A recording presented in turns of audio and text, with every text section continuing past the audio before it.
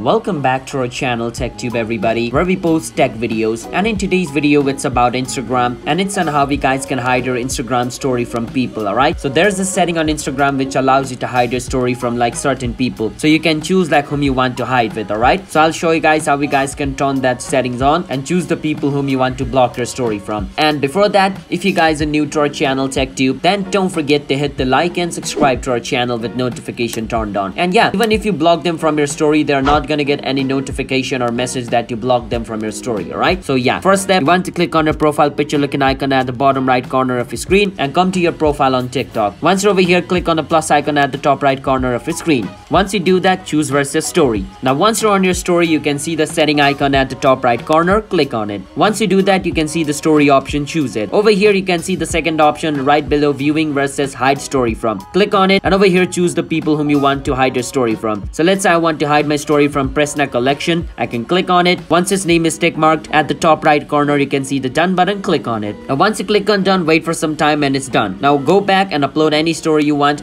and the people you chose they are not going to be able to see your story so yeah so yeah that's how you guys can hide your story from people so if you guys found our video helpful then don't forget to hit the like and subscribe to our channel techtube i'll see you guys next time bye bye